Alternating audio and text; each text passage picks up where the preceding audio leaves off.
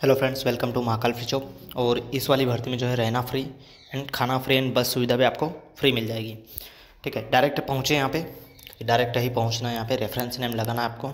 अठारह साल से लेकर चौंतीस साल इसमें एज लिमिट है। यहाँ पे जो एल कंपनी है, ठीक है एल पेरोल पे ही मिलेगा जॉब एंड सैलरी जो है सोलह हज़ार से लेकर पैंतीस हज़ार है। ठीक है, इसमें सैलरी मैंने ज़्यादा बताई है। इसका रीज़न क्या है, ठीक है, वो मैं आगे बताऊँगा।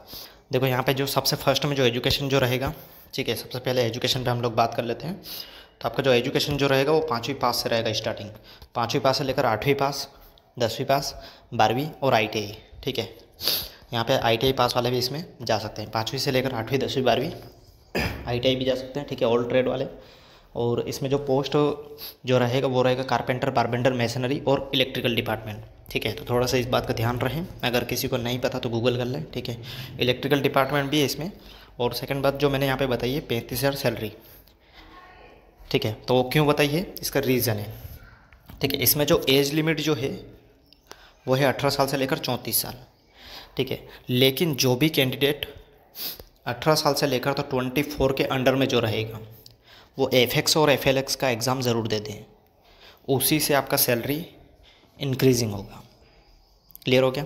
एफएक्स का और एफएलएक्स का एग्ज़ाम ज़रूर देवें। ठीक है? आपका ट्रेनिंग होगा। ठीक है? फोर्टी फाइव डेज़ टू नब्बे दिन। इसी ट्रेनिंग के बाद में एक और ट्रेनिंग होगा। ठीक है? नेप्स एंड नेट्स भी होता है and F X F L X का एक एग्ज़ाम होता है। वो अगर आप क्लियर करते हो तो ही आप जूनियर इंजीनियर या सीनियर इंजीनियर के लिए आप एलिजिबल रहोगे। क्लियर हो क्या ठीक है? इसके अलावा मैं अगर आप F X F L X की एग्ज़ाम अगर आप क्लियर अगर करते हो ठीक है तो आपका सैलरी चांसेस रहेगा थर्टी फाइव थाउज़ेंड तक जाने तक का। स्टार्टिंगली बता रहा हूँ, ठीक है।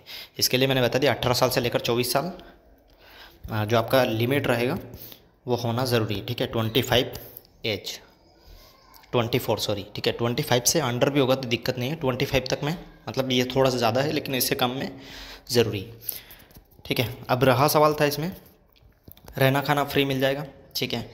जॉब लोकेशन गुजरात टू, एक और है, पटना मेट्रो भी है, गुजरात का बुलेट ट्रेन प्रोजेक्ट है, ठीक है, चेन्नई मेट्रो है, कन्याकुमारी, हैदराबाद है, ठीक है, ये था जॉब लोकेशन, सोलह हज़ार से लेकर पैंतीस हज़ार स्टार्टिंगली सैलरी मिल जाएगा, ठीक है, पैंतालीस दिन से लेकर नब्बे दिन का ट्रेनिंग रहेगा, ठीक है, ये कहाँ पे रहेगा, वो मैं आपको अभी बता देता हूँ, ठीक है, ट्रेनिंग सेंटर दो जगह है, एक है यूपी के नजीबाबाद में और एक और है हैदराबाद में, ठीक है, उत्तर प्रदेश के नजीबाबाद, बिजनौर में है, एक और है हैदराबाद में। ठीक है?